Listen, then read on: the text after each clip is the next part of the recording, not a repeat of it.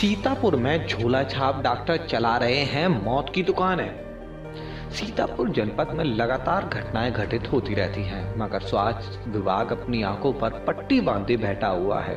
सीतापुर में रोड के किनारे प्राइवेट क्लिनिक खुले हुए हैं। ना तो इनके पास लाइसेंस है, ना तो ही डॉक्टर की डिग्री हासिल की है। भारी भरकम में एक्सरे मशीन व ultrasound machine blood test machine कई डॉक्टरों के नाम फर्जी तौर पर बोर्ड पर लिखे हुए हैं। झोला चाप डॉक्टरों ने अपनी दुकान में मरीजों को ब्लड भी चलाना शुरू कर दिया, जबकि उस रूट से क्या स्वास्थ्य विभाग के आला अधिकारी नहीं आते जाते, क्या ये देख नहीं सकते? ये बोर्ड कभी किसी ने नहीं देखा, जिसकी जाँच करने का कष्ट किसी ने नहीं किया। अभी कुछ दिन पहले एक झोला चाप डॉक्टर ने एक व्यक्ति की फोड़े के ऑपरेशन कर बैठा। नॉलेज न होने के कारण उसकी नस कट गई, जिसकी हालत गंभीर हुई तो लखनऊ के प्राइवेट हॉस्पिटल में इलाज करवाया गया और अभी तक अस्पताल में उसका इलाज चल रहा। कुछ दिन पूर्व में एक झोला चाप डॉक्टर बंगाली ने एक बच्चे की जान भी ले ली थी।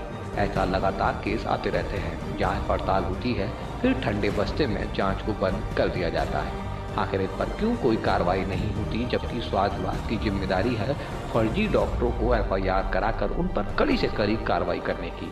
जब इस विषय में सीएमओ से बात की गई तो वह कैमरे के आगे आने से ही इनकार कर दिए और कुछ भी नहीं बोले। इससे यही लगता है कि अंधेर नगरी चौपट राज कहीं ना कहीं इनका भी इसमें योगदान है।